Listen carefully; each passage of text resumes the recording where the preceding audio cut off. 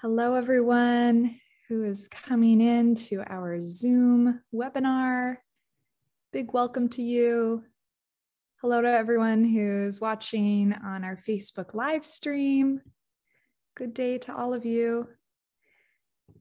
Excellent. We are here for this month's virtual tour of intentional communities, where we sit down with three different intentional communities from throughout the US and around the world and learn about them and experience some of the diversity that we have in this great big movement that we call the intentional communities movement. And I see we have more folks coming in. Hello, hello. My name is Cynthia, and I'll be the host for today's event. I'm calling in from Vermont, where I also live in an intentional community called Headwaters Eco Village. And I'm one of the co-directors with FIC, the Foundation for Intentional Community.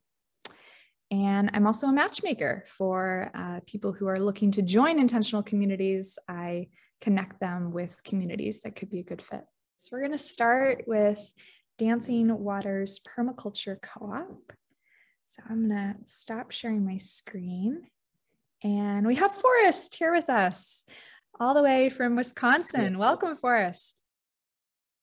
Hello, everybody. Glad to be here.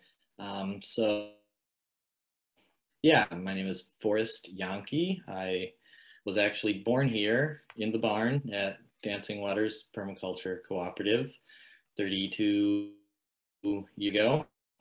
Um, and Dancing Waters started in 1982. So we are We've been around for a minute uh, here in southwest Wisconsin, the driftless area, the lumpy part of the Midwest that the glaciers missed repeatedly. So we still have lovely road hills and valleys. And uh, I will be sharing my screen here with you so you can see a little bit. This is uh, some of the local topography. This is actually a map of our area. We're at the toe of this uh, long hill. Our buildings are clustered at the bottom of that. And we have uh, 130 acres of mostly pretty steep wooded hillsides, a couple acres of flat valley bottom where we have some hay fields in our gardens and the houses. Um, as a permaculture cooperative, we have a sort of permaculture zoning as far as uh, how much control and manage we have over the property. In some areas where we do very little or nothing and some areas where we control pretty fully in annual gardens and paths and buildings. And uh, for you familiar with permaculture zoning um, and generally try to follow permaculture principles. Um, we own all land and the buildings collectively. Um, we do not, we're not technically a commune because we each have our own personal incomes that we make and then we pay a monthly, uh, we don't call it rent, it's a running cost uh, of being here. And then there's a minimum expected equity for each member to uh, buy into, which it's tied to inflation. At the moment, it's like $35,000.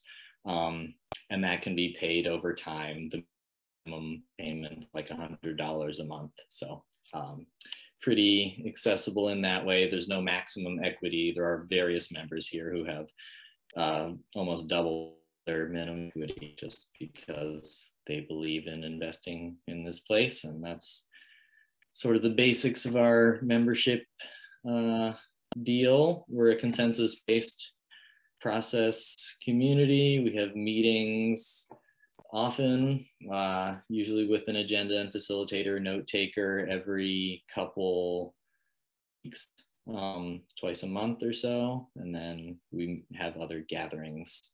So I'm gonna just start flipping through some of these slides where I've grouped them by season. So it'll give you just a little bit of an idea of sort of the, uh, the seasonal flow here in, uh, in Wisconsin. So yeah, we've got lots of these little plants under lights these days, just about ready to transplant out into the greenhouse and the gardens. These are morel mushrooms, so some of the things that we wildcraft and harvest from the wild around here. Uh, here we're doing some water quality monitoring in our little creek. Um, we're called Dancing Waters because we're the headwaters of the West Fork of Knapp's Creek and we have many springs bubbling up from the ground and we can drink straight out of the spring and I have my whole life. Um, and here we're just monitoring it, making sure the E. coli and the phosphorus and all the things are good. We do burns. Uh, we've built a lot of the houses ourselves, um, although these days um, you have to contract out a lot more than we did before. So having a lot more of the that sort of stuff done by experts, which is has its pluses and minuses. Uh, we also do maple syrup here, although we haven't the last couple years. Uh, most of our maple trees.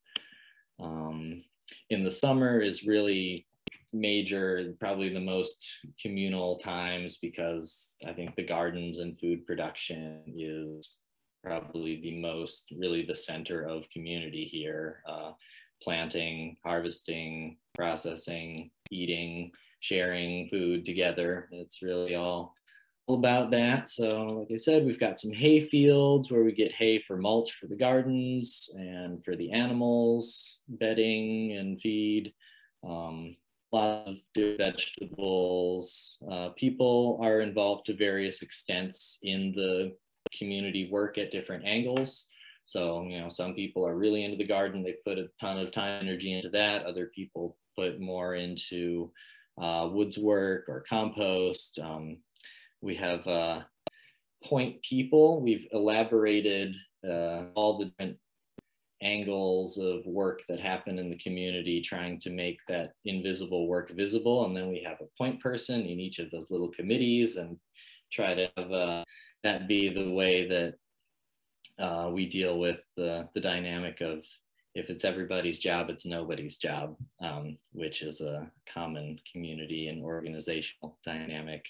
Um, so chickens, gardens, hills, pigs. Here's some of the harvest. Uh, we have a very diverse apple orchard here uh, that my dad runs here. He sells some of his apples at the local farmers market, which at the moment it's really the only uh, outgoing food production. We do pretty much all of our own food is for our own community consumption.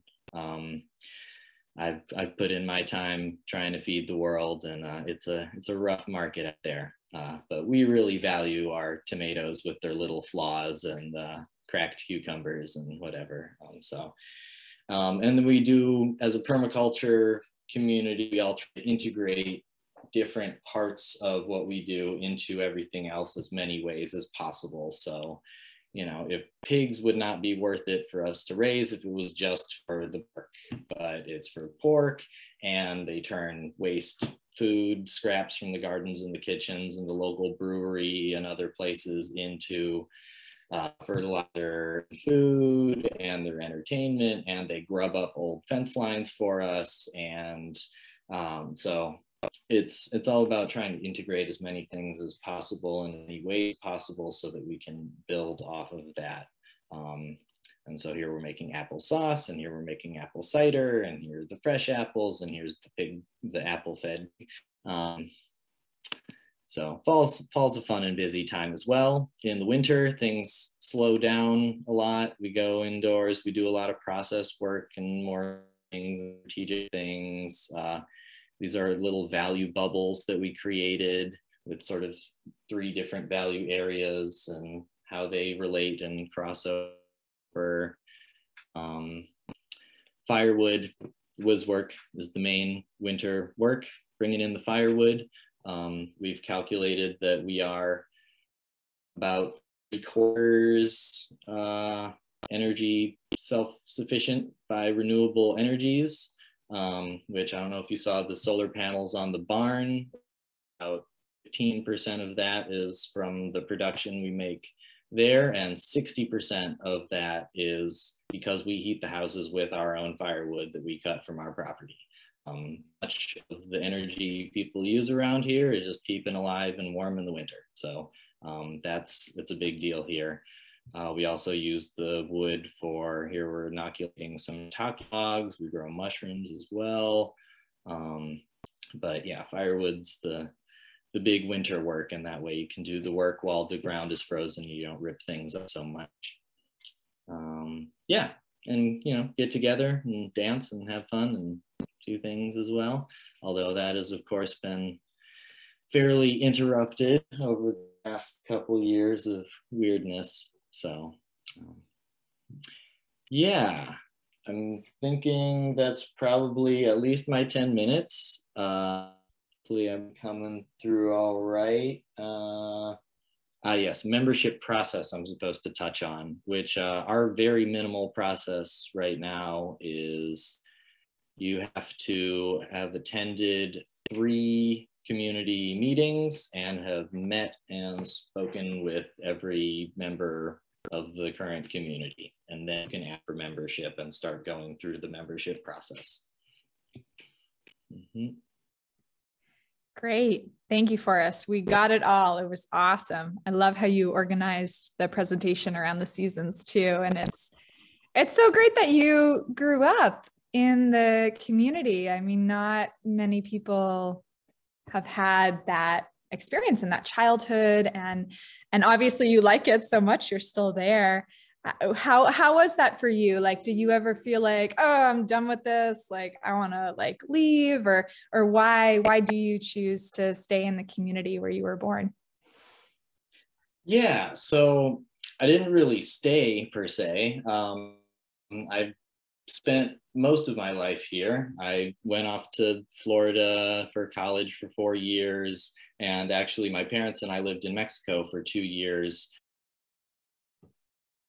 Community called Pina Palmera in Oaxaca. And um, we, I return there regularly. Um, I married with a Mexican and have a life down there as well. Uh, in usually slip off there for a month or two of the winter and we're starting to get involved in little permaculture community down there. Um, and i may be living here for my entire life. Um, i'm I, i'm a permanent member. So being born here there is no birthright or anything. I member process and have my minimum equity that i'm buying into and everything. Um, but I decided to go through that process and become a permanent member. And I feel uh, committed to this community in some way, shape, or form for life, for sure. Um, whether or not I'm living here full time, and there's been lots of shifting around of people over the years. We have three couples of kind of the OGs who were came in and either started or came in right in the first few years of the community of the, my parents. Um, and then there's 11 of us right now. So my wife and I, um, and then three more other folks. Uh, family hopefully coming into the space that over the last year we've just been putting up for short rentals and on Airbnb, which was for us and we found a surprising demand for way out in the boonies because we're about we're very rural it's a 10 minute drive away from two towns of 400 500 people half active 5000 people an hour and a half two hours to any real city by anyone's standard but you know there's people from chicago coming out here you know driving six hours to see them way for the first time in their lives mm-hmm. or an owl hoot or a shooting star um, mm. pretty crazy it's been an mm-hmm. interesting experience of bringing in new people briefly. Uh, we've had, you know, and in the long run, we're not really looking to be landowners. We'd like to be land partners and bring in committed members, but the Airbnb thing's been a good way to split income from an empty apartment. So. Yeah, mm-hmm. yeah, great. Thank you for sharing more of your your story. And you did touch on a question that people had about how big the community is. And we have another question. Um, how how do you decide if someone can become a member is it is it you know you describe that process is it sort of just like if no one has a problem with that person they're in or what does that mm. look like Yeah, so we have a multi-tiered process. Like I said, there was those basic requirements and you can request membership and then you become a trial member. And for that period of time, at that point, you start paying your fee. You are fully a part of the decision-making process as much as anyone else, um, living on the land, being a part of all the work. Um, and then point, um, and during that process, it, you can be through a community meeting and process, you could be asked to leave. Even one member was adamant about that. Um, and then uh, becoming a permanent member at some point, um, and at that point, that can be requested by the trial member. Uh, you don't have to have your full equity purchased or anything, but usually two, three years when um, a little more decisive. And um, if you become a permanent member, then uh, basically you would have to you would have to either leave yourself or it'd be a consensus decision to have that person leave. Um, and equity can equity would be given back to someone leaving. Our first, the first $5,000 of the equity payment is considered a membership fee, and that's not refundable. But after that, all the equity you build up, if you leave and decide you want that, um, you can ask for that to be returned to you. Um, mm-hmm. Although I will say that uh, most people who never asked for their money back, they decided they lived here for plenty cheap for plenty amount of time and it was a good investment for them and uh, but we have had members who have left and have asked for it back so that's it's happened both ways mm-hmm. mm-hmm. okay great and there was a question during the trial membership period are people living there at least part-time or full-time yeah full-time i do yeah yeah there we don't really have an absentee members kind of thing. Um, I mean, there are people, like I said, who have left and still hold equity, but they are no longer part of the decision making process. It's for those of us who are living here. Mm-hmm. And you can take sabbaticals, and we have members who, you know, have done meetings for decades, uh, need a sabbatical from that and are just like, okay, y'all take care of the decision making process. I'm going to do that. Or so we we do have some flex in all that, and we've we're still developing and playing with our our process, and that's it's a part of the the learning. Um, we've integrated the seven step process. Um, Tim Hartnett's in the census oriented decision making seven step decision making process has been very helpful for us in uh, moving forward progressively in our decisions and not just talking in circles. So um, that's been really good. We've used various tools to help understand ourselves and our process better. It keeps developing. Amazingly, we made it through like 30 years without a real explicit blocking process, but I think we have a pretty decent one now um, and well elaborated. So. Okay. Okay. Great. Yeah, it's it is inspiring to see a community that seems quite stable and and has been around for so long. So that's great. And do have one last question for you, um, which this person has asked me to ask of all of our panelists. So get ready. Um, are your all are your members required to be vaccinated? Um, and then maybe I would expand on that. How about visitors too? we don't have any requirements. It's every household has their own sensitivities and their own uh, level of precaution, and uh, I'll just respect whatever that is. Basically, the the safest denominator and the space that we're sharing space in, and but yeah, we don't have specific requirements for that. Okay. Okay. Good. And I, I, see there is another question for you in the chat, so I'll let you answer that there. But um, thank you so much, Forrest. Really appreciated getting to know you and your community.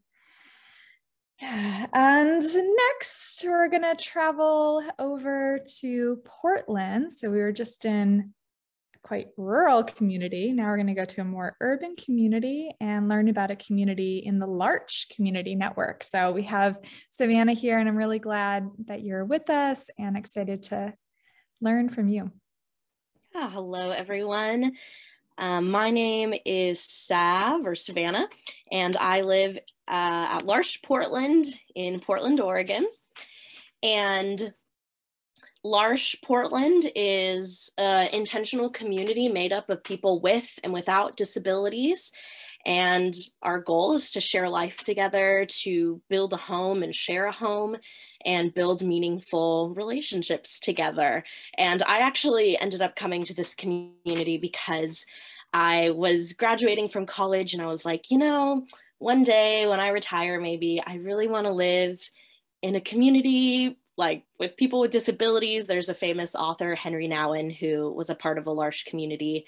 And I didn't really know the language, but I was like, I want to be, I want to do what Henri Nouwen did. And like, as I'm retiring, like, go somewhere and live with people. And then my friend was like, that's a real thing. They're all over the world. And I was like, oh, cool. And I've really wanted to move to Portland. And so got the opportunity to do that.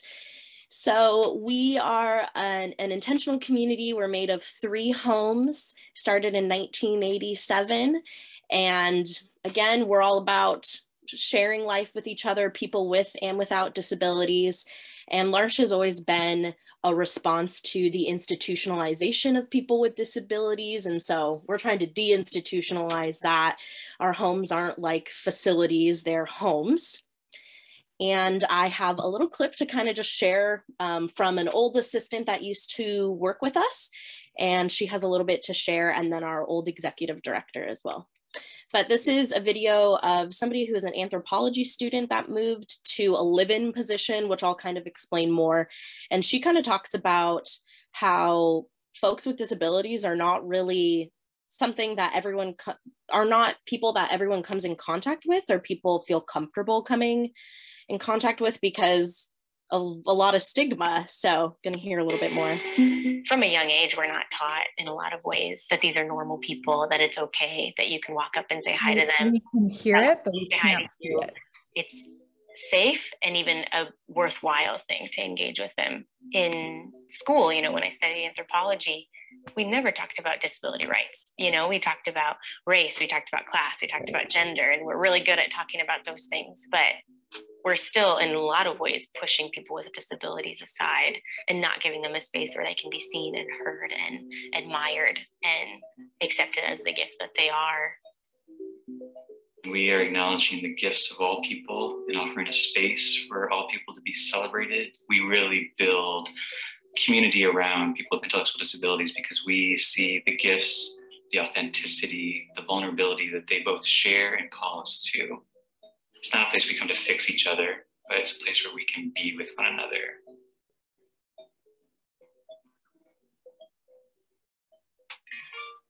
Ben is we'll Ben. Watch this portion of the video in a little bit. Um, so hopefully you learned a little bit more about why L'Arche is an important community for people with and without disabilities. We need one another and we have gifts to share with each other. And so um, International, it's all over the world. L'Arche International has these pillars of spirituality, growth, loss and grief, simplicity, forgiveness, authentic relationships, prayer, celebration, welcome, suffering and joy, light for the world. These are all things that inform the practices of, of L'Arche. And L'Arche International was founded on Catholicism and more evangelical Christian beliefs. And a lot of communities around the world still base their practices on that. But L'Arche Portland is a little bit different in that we're more of an interfaith community. There's a lot of different faiths and beliefs that are practiced. Um, Buddhism and Islam and Quakerism and evangelicalism and agnosticism there's people of all different beliefs and traditions and something that i really love i came from an evangelical background and kind of had my own religious spiritual transformation and have found so many new practices that I love from Buddhism and Quakerism. And um, a lot of us kind of incorporate a lot of different practices into our into our life. And so there's some pictures here of some folks at a celebration and uh, with some cupcakes. And then we have a foot washing practice that we love to do and some blessings. So here's one of our folks with disabilities, a core member, Robin, she's blessing Andy. And then we have some sweet friends down here. We love friendships. Uh, the most important part of L'Arche to me is the authentic relationships that I've built with people with and without disabilities and how we see that those relationships last long after people have moved out of our homes. So we have two kinds of homes. We have our east side homes. They're on the east side of Portland. Um, they're called the Nehalem House and the Neocani House.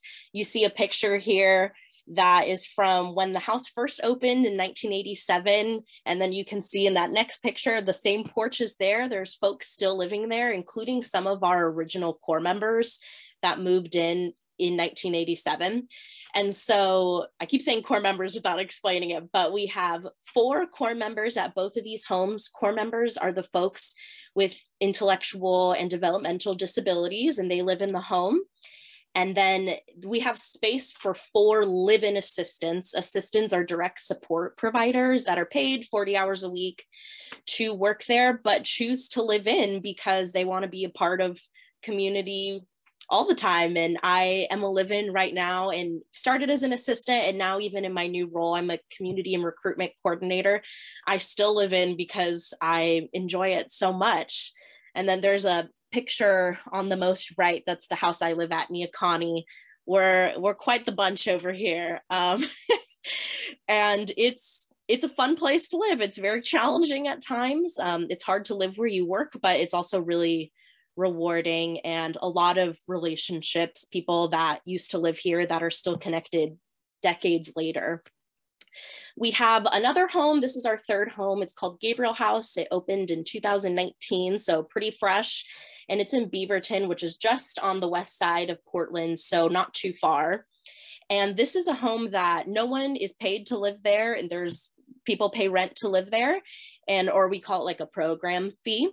And it's folks with and without disabilities that choose to just live together because they want to. They want to live in intentional community.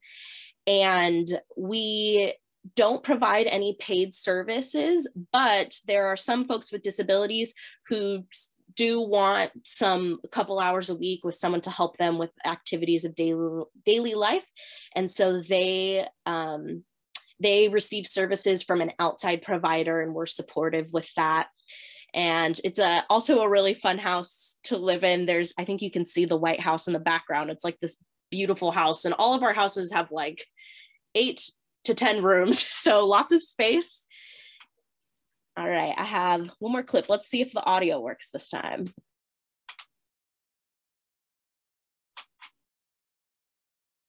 Butternut squash lollipops. How's that sound? Do you want candy made out of vegetables? No. uh, no way. No way. That sounds gross. I, it'd be you cook me. You're happy when I cook with you? Yeah. Happy when you cook with me.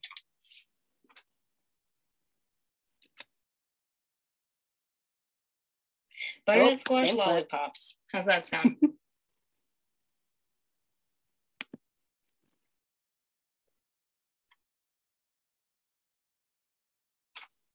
Going to learn a little bit more about one of our core members, Ben. Ben has been a member of L'Arche for over 20 years. One of Ben's gifts is welcome, and he does it in an unconditional, loving way that is immediate.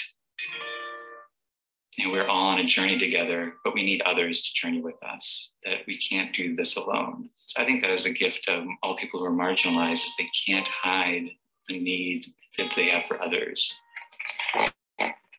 Nice. Good.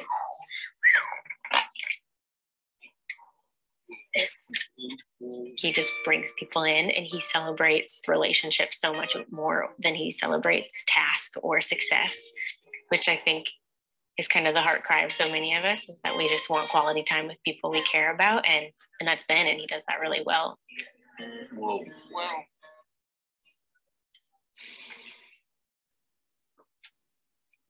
If you head to our YouTube at L'Arche Portland, there's a lot of other videos that have more of the voices of the folks with disabilities in our community. There's a really fun chicken proposal video when we proposed to have chickens at one of our house uh, houses that made me laugh. But there are several ways that you can be involved at L'Arche Portland. You can be a live-in assistant, that's that paid role to live in. We have live out assistants, folks that are paid to, or folks that are paid to support our homes but don't live with us. They're part of our community. The Gabriel House, you can be a member there. We're hiring a business manager if you're interested in a more administrative position. We have summer community interns and we always welcome interns volunteers. We have a board of made up of people with and without disabilities that we're welcoming people to join. And then there's always friends of our community, people that just love what we do and love the people. And some of those folks have disabilities and live in other places. And some of those are just folks that want to be around us. So that's fun. I'm going to share some information on the screen. Hopefully everyone can see it. Our website's at the top. It's L'Arche, L-A-R-C-H-E dash portland.org. And there's a couple different emails. If you want to live with us, you can email live at L'Arche Portland. If you want to apply and work with us in one of those um, live in assistance or live out assistance or the business manager role, apply at L'Arche Portland. And then if you just want to get more info, info at L'Arche Portland. So thank you everyone for listening and dealing with the, the technology things. Thank you so much, Savannah. That was wonderful. Um, yeah, it was nice to have the video clips. I'm glad we made that work because it did just give us a, a, window inside one of your communities. I've never been to a L'Arche community, but I have been to a few Camphill communities. Yeah. They're, they're similar. Yeah. Similar. So, yeah. Same mission, I think. Mm-hmm. Yeah. It was a very powerful experience for me um, and really really walking the talk of inclusivity for the most marginalized members of our society. So, yeah. And I mentioned in the video, Andy said, like, folks with disabilities often can't hide their need for other people and that's something that i've learned is that i have a need for people too it's there's no special needs i also need to brush my teeth and be with my friends and watch movies and so i've learned to not only support other people but have them support me too mm. Mm, yes, I love that. Um, well, folks, feel free to put your questions in the Q&A box or in the chat. Um, I do have a question for you.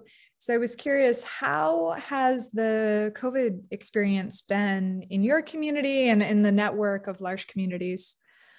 Yeah, it's been difficult because as as folks might know, folks with disabilities are often more at risk for in general sickness like the flu, but especially COVID, um, just because of autoimmune things. And um, so we were pretty shut down for a while. And we also are, because we're county licensed, we have some like additional rules that we have to follow.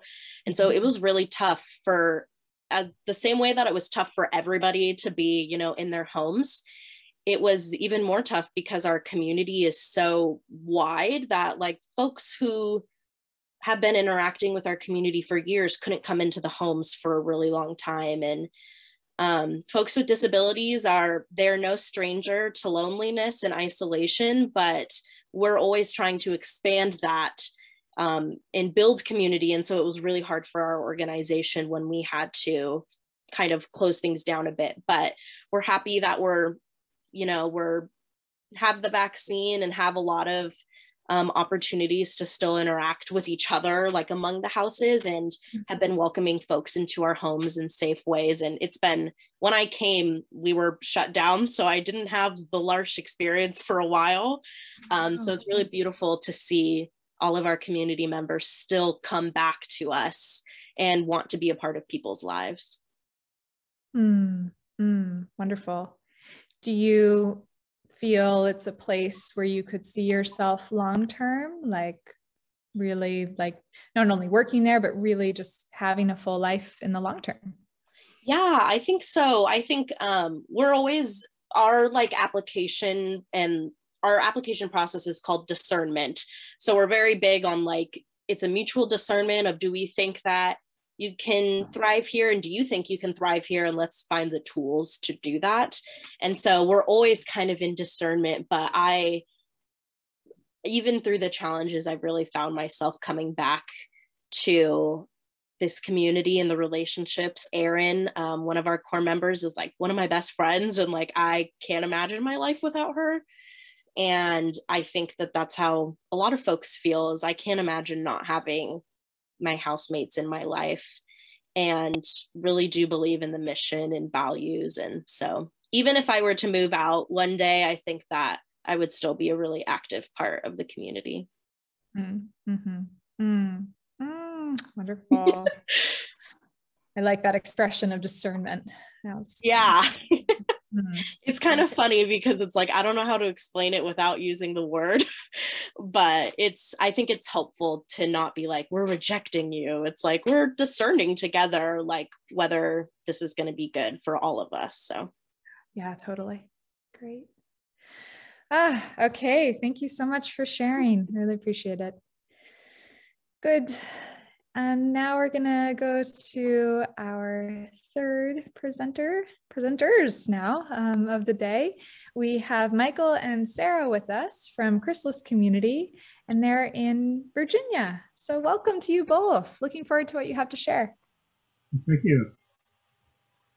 Yeah, um, this is Sarah. I just want to say uh, thank you so much for inviting us on. Uh, it's really wonderful to see what FIC is doing these days. There's so much more going on than there was 53 years ago. So congratulations, and especially congratulations to you, uh, Cynthia, for making all this stuff happen. Oh, thank you. Mm-hmm. Great. And uh, I've been a resident of Chrysalis for 20 years now. Um, but I'm going to let Michael do most of the presentation because I was busy doing other things, and they're, right. the, they're the one who put it together. So I'll be sitting here but not saying so much. Great. And if, if you could speak up a little bit, there's a little little trouble hearing your audio. Hmm. Can you hear uh, at this level? Does it work?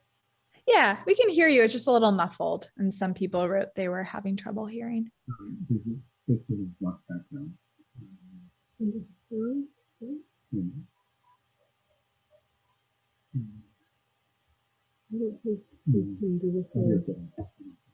Okay, we're just trying to block background noise. Uh, hmm. Hmm. Hmm. All right, is this any better? Maybe. Um, better. It's better when you, yeah, mm-hmm. speak loudly. This? Is this better now? Mm, potentially, um, maybe. Okay, back to this one. How's this one? Sorry. Uh, I don't know if I can hear a difference. Okay, all right. We'll, we'll just try that. Okay. Need to. Okay, technology. Project. You ready to screen share? Sure.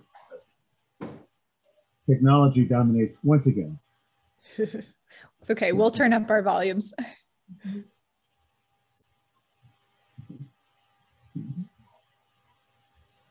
Okay.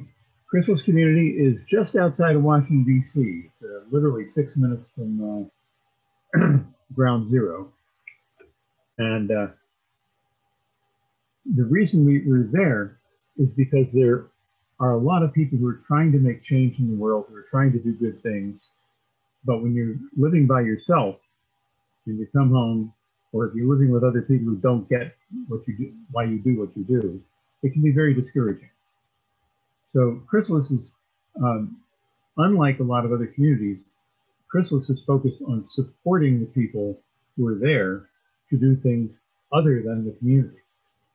Uh, we have uh, two houses side by side uh, in Arlington, Virginia, which is a close suburb of DC. And there's a, uh, it's a beautiful setting. Uh, we're right next to a 350 acre park. And we, there's room for five people in each house. Now, the two houses are literally side by side, just a few feet apart. And they function kind of like one big house with drafty hallways. And that's what we want to do is create a situation where people have friendships and connections with other activists, other people doing things that will hopefully make the world a better place. And we think of activism in a very broad sense. Um, it can be, for example, one person is a professor of environmental chemistry. Um, other people do all kinds of things uh, that are designed to make the world a little bit better place. Uh, we don't, as a group, do any single activism, though there are three of us who've been there a long time, 10 years or more, uh, who do share a specific kind of activism, and that is culture change. And what we're doing there is trying to help people develop themselves so they're more they're more present and able see how to make a difference in the world at large. One of the lines that uh, comes up is that it's very difficult to bring peace to the world when you're at war with yourself. So that aspect of changing people to help them change the world is kind of core for the three of us. And Chrysalis is also tied to other communities. Um, we actually have kind of a sister community out in rural West, West Virginia. And again, there, there's a lot of outreach. The focus is actually on connecting with the people who are already living there, making their lives better, and doing what we term a rural revitalization project. That one's called Allegheny Crest Intentional Village. We, we run three local businesses there. The place had been, uh, the town had been collapsing until we came along and revitalized it. Oh, another community that we're connected with is a non-residential community called Network for a New Culture. And the, again, the vision of Network for a New Culture is how do we create a world uh, where we work out our problems without violence. And so mostly we're creating events uh, that bring people together to experiment and learn skills related to that question. And uh, back before COVID, we, we used to host a bunch of events at Chrysalis Community, evenings, weekends, and so on. So there was always a lot of flow in and out of, of the larger of our two houses in Arlington. Um, however, COVID has brought a stop to most of that. Uh, we hope to be able to do it again soon, um, but currently on hold because uh, we're mostly very cautious about COVID the people who do live here each have their own area of interest, and it's a core value for us to preserve each person's autonomy and freedom of choice uh, in whatever they do. And some of the things that we do as part of our outreach is we teach consent and we teach communication skills. And this all comes back to us uh, in our community living that when there's a challenge or conflict between people, that we can have those tools to make it work well. The, the texting, are you going to show slides? Yeah. Because if not, they're just looking at this Oh. possibly instead of our faces. Good point. This is one of the houses, the larger of the two. And the, the railing, uh, the balcony up there is a wonderful place to watch lightning storms. This is the other house right next to it. And the front yard that, that's in this picture is not the current front yard. Uh, that, that yard gets used for many different things. Often it's an organic garden. This is part of the living room in the larger house. This is the way it looks on a day-to-day basis. And you'll notice the, the guitar, uh, a number, and the drum, and the keyboard. A number of us are, uh, are musicians, amateurs, but we, we still go for it. This is the dining room.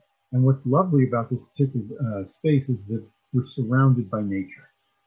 You can see uh, the windows on all sides, and all you see is trees. This is the living room of the house, uh, of the smaller of the two houses. Um, again, it's gathering for the people who live in that house and gets used for various things. We have, we love enjoying the outdoor spaces in a variety of ways. The trampoline is a favorite. This is a picture of the entrance to the park. It's literally just a few feet from our, our property. And it's across the street. So our street is a cul-de-sac and there's no houses on one side, which abuts to this. It's a rails to trails park, so you can get on it and walk for uh, yeah, from miles and miles. all the way out to Ohio, even it That's connects true. to the C&O Canal.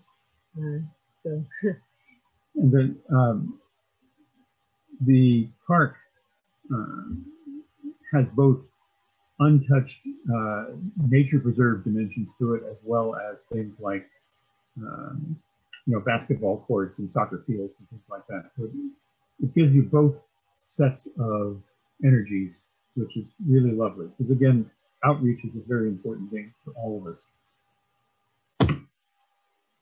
Biking is actually an important part of the game as well. We are right at the intersection of three of the largest bike of the main three of the main bike paths in the region. Uh, so from there, you can kind of go anywhere. This is an um, an example of a meeting that we had when we expand the living room and use the whole thing. Um, the living room can actually hold up to 50 people. And we've had events that, of all kinds that again, not lately because of COVID, but before and hopefully sometime soon afterwards, we'll be able to have these kinds of meetings again of various sorts.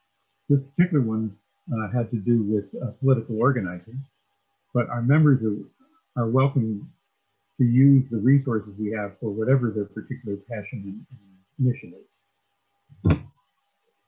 We've also had house concerts there from time to time. Uh, again, being musicians, we love to invite other musicians where we can. This is an example of a house dinner. Um, we have not as often as you might as we might like because each person has their own activity, mission, commitments, and so coordinating to get everybody together for a meal is uh, herding cats is definitely easier, much easier. We've also uh, have space for various kinds of workshopy kinds of things. Um, when uh, the new culture events that we put on needed a 40 foot dome, and we wound up building it from scratch. And at Chrysalis, we have uh, nice workshop areas. Some of the work is being done here. And here's Sarah at an earlier time crunching pipe. This is the uh, setting for the our sister community out in rural West Virginia, which is great because our people can go back and forth as they choose. So they have an urban setting when they want to get engaged with other people who are in a high intensity environment. And when they want to get back to nature, that's an available thing as well. That's part of our forest out there. And that's the whitewater stream that runs through the whole property.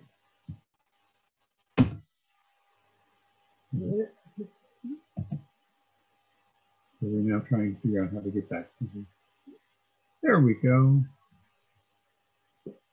So that's um, that's basically us at, at Chrysalis. Um, that again, the, the, big difference is that from many other communities is that we focus on outreach. Um, we're always looking for how can we use what we're learning and what we gain from our community and share that with the world in some way, shape, or form. And the financial model and how you. Oh, but the the people who are activists are often on the move. So uh, there's no intention here that someone should live here forever. They can. Uh, Sarah and I started this about 20 years ago and actually grew out of a previous uh, intentional community uh, that went back into the 60s. But um, so we have three of us that have been there for more than a decade and likely to continue. Uh, but other folks come and go, and that's part of the, uh, the, the, great part of it. Um, usually people here are anywhere from three months to three or four years. But we had one person that we admitted as a resident for three weeks. He was the world's leading authority on aquatic ecosystems and one of the most fascinating human beings to talk with I've ever met. Well worth learning. Uh, we also ha have uh, had an investigative journalist who stayed with us a number of times. and written uh, some very well received books. Um, again, a fascinating person to, to know and learn from. So the financial model is, is basically a rental situation. That gives Yeah. people the greatest flexibility to come and go as they need. Right, and the different spaces have, have different um, pricing and it also depends on how long you're planning to stay. We're flexible about that and, and it can be renegotiated pretty much at any time. Yeah, we designed it so that people can come for as long as they need to, and if it changes, all of that's already worked out ahead of time. So there's, there's no stress that somebody needs to go sooner or, or stay longer. Hmm. Okay, I think we've kind of covered what we're about. Um, I guess happy to hear questions. I'll say one more thing, which is that we like to, we try to establish in, in at Chrysalis uh, a culture of transparency and clear communication, saying what you want, saying yes to what you want, saying no to what you don't want, you know, not letting uh, difficulties fester under the surface, bringing them out, um, and so on. That's part of the skills that we're teaching in the new cultural work as well. And finally, uh, nobody who lives at Chrysalis has to participate or be involved in any of the other communities. That's completely our choice. Yeah, nor nor is anyone expected to work on anybody else's project.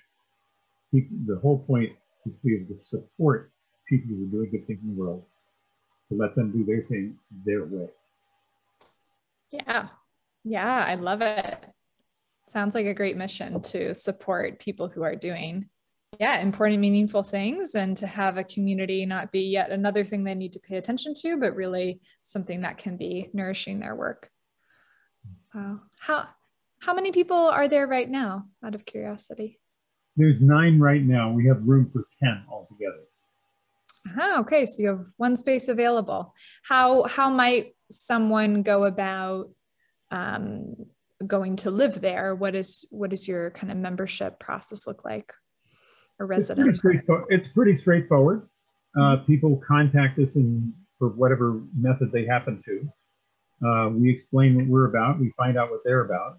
We try and understand how what we're about matches who they are in terms of their activism, which can take many forms. And our concept of activism is not narrow at all, it's extremely broad. But as long as the person has a strong outward focus and a strong focus on service in some way, shape, or form, that's entirely compatible with what we're about. And then once you know, once once we go through some preliminary information, if it looks like the person might be a good fit, uh, we have them con you know get in touch with the other folks there, and you know if there's a match, then we're all set. This often can happen very quickly, um, in a matter of a few days or a week or so. Yeah. Did you want to add something to that, Sarah? No, it's a- just to summarize an initial screening interview and then uh, a visit either in person or in Zoom is usually what happens. Okay. Okay. Great. Um, what kinds of projects are residents working on? Like, what if you could give an example? I know you had mentioned the visitor um, you had who was engaged in ecosystems, but what what other things are folks up to? Okay, we've got one person who's involved with educational reform and sex and gender justice, who also volunteers with National Park Service. Uh, we've got a climate change activist working with a local NGO, and somebody working on urgent healthcare matters who will eventually enter med school, and a returned uh, Peace Corps volunteer who's focusing on international issues. Wow. Yeah. Yeah. A lot of a lot of deep work. yeah. As well as the, the three already mentioned who uh, create the new culture events and, and uh, culture. you know, work on the West Virginia project. Yeah. Yeah. Great. Uh, I, yeah there's dull. the yeah there's a question here about growing food do you do much food growing Yeah, that has uh, that comes and goes. It depends on when we have somebody who's excited about gardening. And so for about 10 years, we had organic gardens in both both front yards. And that person uh, had been here almost a decade. And they they had uh, actually moved in with a partner someplace else. And since that time, uh, we haven't had anybody as dedicated as they are.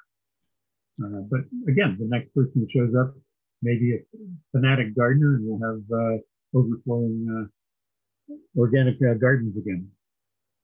right Good. Okay. I love that. Um, yeah, flexibility based on uh, who's there and what their passion is. That's what the community goes for. Yeah, that, that's that's very much the difference. Is that there isn't it isn't like the community does this and this is what you have to do to fit in. It's more Mhm. a matter of the community supports you in doing whatever it is that you you know whatever your passion. is. Yeah. Yeah. Yeah. Interesting model. You, you asked earlier about vaccination, and Mm. so uh, as I said, we're we're pretty cautious about COVID, and so we do ask people to be vaccinated for liver causes um, to join the community. I hope that sometime soon that uh, you know we'll be past all this and not have to go through all that, but uh, that's our current situation. Yeah. Yeah. Good. Thank you for sharing. Mm. Excellent. All right. Well, thank you so much, Michael and Sarah. Thank Great you. to learn about what you're up to. Well, we're coming into the um, closing portion of our time together. So, for our audience, if you are sitting on questions, especially questions that might be relevant for um, you know all of our panelists, or if you want to follow up about something that one of them shared, uh, I would love if you could put your questions in the Q and A box. And even better would be if you want to uh, find the raise your hand button and ask your question out loud. I really do like hearing some different voices in our space. So, yeah, if you have questions, would love to hear them. And if there isn't something immediate, I do have a question that I'm hoping um, you all could touch on in your own way and we can just kind of popcorn style.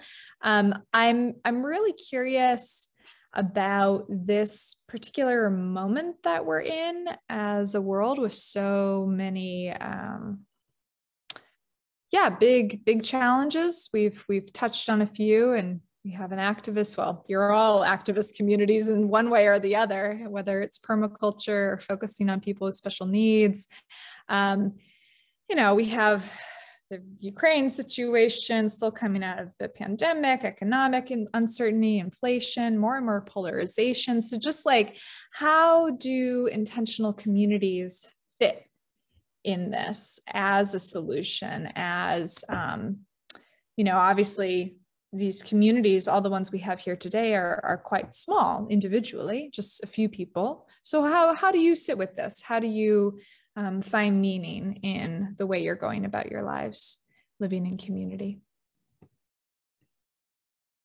Anything you want to share around that? I think um, for me and for L'Arche Portland, we do have a lot of, I think something that we do well is listening to each other. And while a lot of us align on a lot of things, especially as people who care about folks with disabilities, like when it comes to disability justice, we kind of all agree on a lot of basic things. But outside of that, there's a lot of differing opinions. And I think something that we really try to practice is listening to each other and then listening to people outside of our community. And we, one of our core values is mutuality. And in the sense that no one is, no one's opinion is above another person's opinion. Obviously, we have like, because we're a nonprofit, there's some hierarchy and like leadership like somebody makes has to make a decision at the end of the day but we really do try to listen to each other and also care about things that are going on in our world um, and for L'Arche, we're connected all over the world. So there's a L'Arche community in Ukraine. So connecting with them and figuring out ways that we can offer support and also figuring out how we can support folks with disabilities to support other folks with disabilities or other people how we can equip them and give give them the information that they need and help them find information so that they can advocate for themselves and for other people. So it's it's a hard dance because there's a lot going on and it can be hard to focus on things outside of community sometimes but it's important and i think that we're always trying to to do that well I'd like to speak to that too. Um, oh, and I, I just remembered. Uh, can you all hear me? Okay. Yep, Okay, we can cool. hear you. Um, I just remembered, Sav, one of our members a few years back actually worked at a L'Arche community local pass in, in the uh, Virginia suburbs of DC. So that was pretty cool. Um, so communities are little laboratories of, of, social change. You know, we're all figuring out how to get along with each other, how to work with each other. Um, one of the hallmarks of modern uh, Western society is alienation and separation. And in a community, uh, when it's going well, you know, we we can replenish each other's uh, deeper needs for connection. So I think that that is absolutely crucial in this time, especially with all the isolation of COVID and so on, um, to have that ability.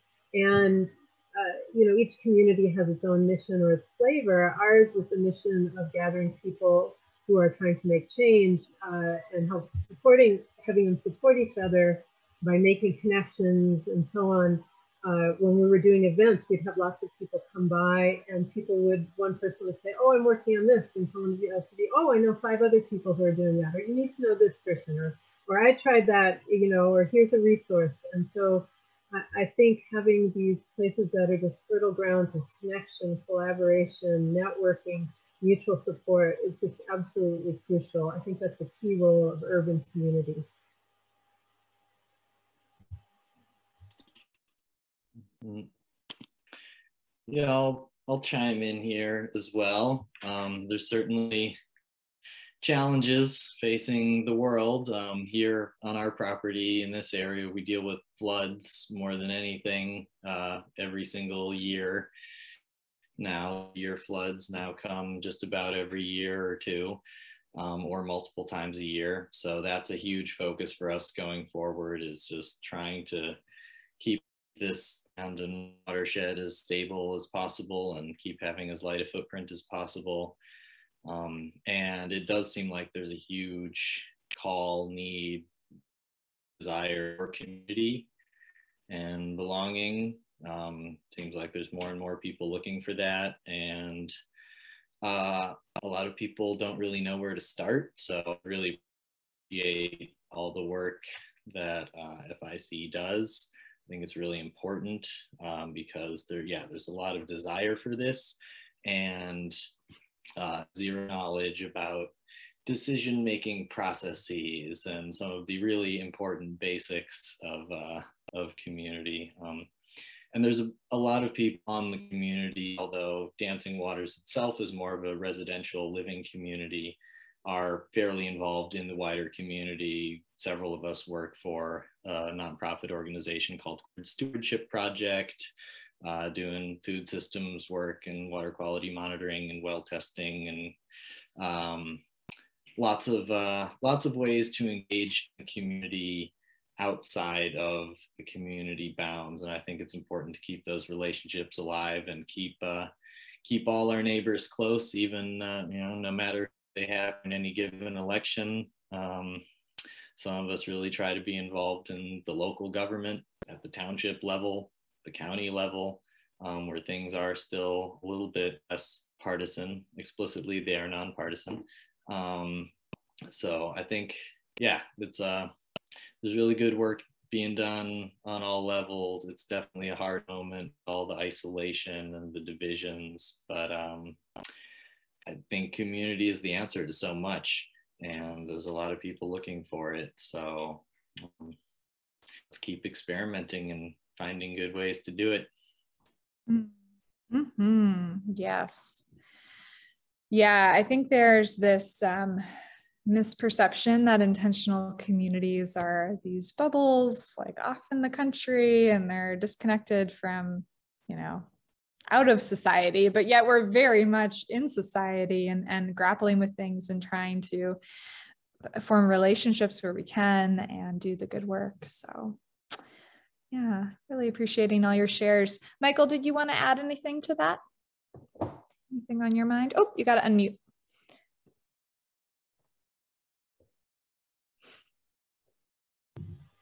Sarah pretty much sum, summed up uh, the approach we have to it. Um, again, it's, it's a matter of you know, one of the many subtasks we have is that by helping activists heal, they'll be more effective in what they do. Mm. So that's a piece of the puzzle as well. Getting people healthy enough and enough at peace with themselves so they can actually see what's you know what to do. I, I spent many years. I've, I've been involved in activism since I was a teenager, which is a very long time ago, and you know I've watched over and over and over again people who think they are being activists. They're coming from a place of anger or upset, and they do things that are often counterproductive or at the very least ineffective to be effective at, at any kind of social change, you really need to start internally first. Get to a place of peace where you can see what's real, you can accept what's real, and you can clearly think about strategies for making it different rather than being reactive. So. Mm. hmm Yeah, yeah, doing that inner work making sure that you're doing the work from a, a place where you're you're nourished and and have more healing support great good. Well thank you all so much for answering that question and also for sharing about your communities and taking the time to be here today and just taking the time to live the lives you're leave, living and um, helping to grow and do the work within your your communities and that are each each coming at it from a different angle but like working towards the same vision. So i really love that and i'm going to put oh yep michael. There's one question that didn't get addressed yet. Someone asked how do you split up responsibilities? Okay. Which you know yeah. i don't it's you're running the show but i just noticed that that one had not gotten addressed. Okay. Yeah, and I just see Angela put a question in the um, in the chat box as well about growing food, which we I think we addressed in core principles. I feel like we we covered that. Um, but yeah, sharing responsibilities. Um, yeah, do we want to touch on that briefly?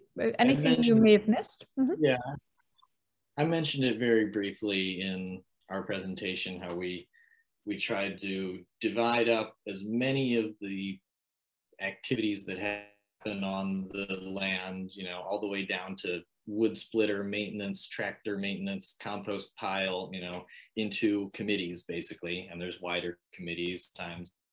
And each one of those committees has a point person, and that point person is not necessarily responsible for doing all the work. Sometimes there's two point people, but they are responsible for making sure that all happens at least, and then everyone's under the different committees and we uh, figure things out that way. And for some of the jobs like septic system maintenance and chimney cleaning, things that happen on a regular basis but can get punted down the road indefinitely, we've uh, established a spring and a fall work day where it's like, all right, we're all going to get together and we're the septic systems and we're all going to make sure the chimneys are scrubbed and we divide into groups and make sure that all gets done. Um, so those have been a couple of the ways we've we've used to to deal with that and try to be out tasks um, but it's it's pretty free flowing and as people are able willing passionate about um, and things change too you know and then the last few years we haven't had chickens because some folk, you know, the folks who were in charge of that had other things going on, didn't have the time. We're now buying eggs from our neighbors, have excellent rain, you know, pasture fed eggs, and we're buying eggs for the same price it cost us to raise chickens. So, um, you know, we, we have shifted over the years. We've let go of some things and on things, um, but those are just a couple little things we've implemented. Mm. Mm. That's great. Yeah, for uh, in our homes, I mean, I think any healthy home has some splitting of responsibilities, and it's usually doesn't come without any tension sometimes of having to remind each other, like, hey, I always take out the trash. Can I, my hope is to not take out the trash this week. Um, we communicate a lot with like blocks. So being like, I have a block to washing the dishes. I do not have the capacity to do that today, or I really hope to wash the dishes. I kind of want a days out and just wash dishes today. Um, we try to balance things out in that way and also incorporate the people that live in our homes. So core members seeing what they're what they're interested in. Um, a lot of folks, some of our core members like really love to help with things. So some of them have things that they do every day, like gather the eggs. We have some chickens, or take the trash cans out every week, or help with dusting. And we try to lean on each other and also just not take on everything ourselves because that usually leads to some resentment, but always growing and doing our best to work with each other. Mm-hmm. I like that. I have a block. yes. Yeah, I would say that we do things fairly similarly to the way Savannah does. Um, that there's there's also recognition that different people have different tolerance levels. So a room that I might think of as pretty clean, somebody else might think of as unbelievably filthy. And we recognize that those different tolerance levels play into what makes sense for who's going to do what.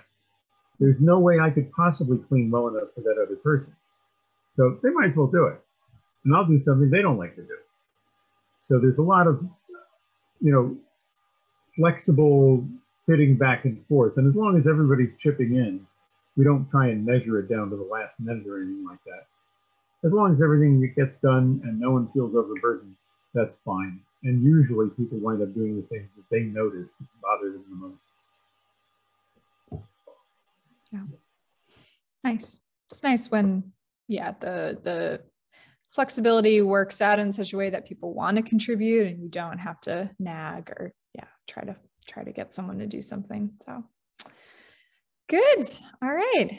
And um, I do see we have another uh, mention in the chat uh, about um, if any of you would like to talk with someone about starting a community and the idea of how getting ideas for how different ones are structured. Um, so I'll let you respond in the chat. I will offer that FIC has a bunch of resources around this topic. Um, there's an excellent book um, that we carry in our bookstore written by Diana Leafe Christian called Creating a Life Together. And that's an excellent resource if you're thinking of starting a community. I'll put the link to our bookstore in the chat. And we also have an online course with Yana Ludwig. And Yana is the best person I could think of for being a resource for starting um, starting intentional communities and is very knowledgeable about the movement as a whole and different models that exist. So I'll put those resources there. And yeah, and thank you again, all of you for for participating in your time, like I was saying earlier. And uh, thank you also to our attendees who asked those wonderful questions.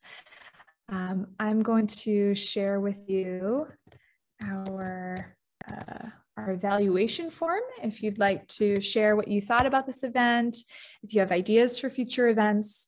And uh, we also have the form there if you know of another community that you'd really like to take a tour of and have participate in this event. Um, I have the sign up form in the chat as well. Uh, so always looking for more communities to bring on for our virtual tour event, which we do every month on the fourth Thursday at this time. So hope to see some of you uh, join us again.